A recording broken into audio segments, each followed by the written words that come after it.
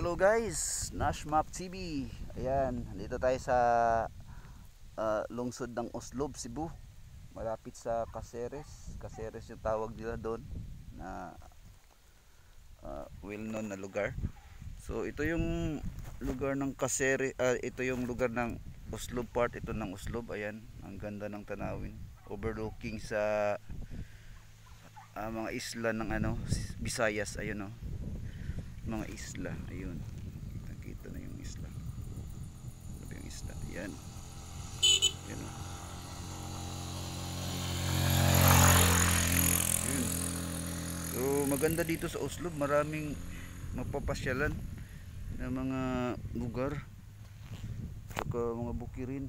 Tapos nandito pa yung famous na butanding yan o sa sa Bukiring part ito ng ano Oslo.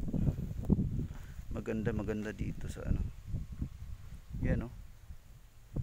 Lawak ng Bukirin ganda mag, may mga may mga ano mga virgin ano virgin talaga. Yun. Kita mo yan? Yun. May mga isla na yan. Okay? So maganda tsaka simentado na yung ano may banda doon banda sa sa itaas may hindi pa simentado pero ayos na rin. Pinapagawa na siguro. Ayan. Ito yung bukiring part ng Uslub galing ako doon sa ano sa Kansaluay na kung saan paminsan-minsan ay umuulan ng ice. Maginaw talaga okay. Yun. Yun. Tingnan mo yan. Overlooking sa dagat. Ganda tingnan. Diba?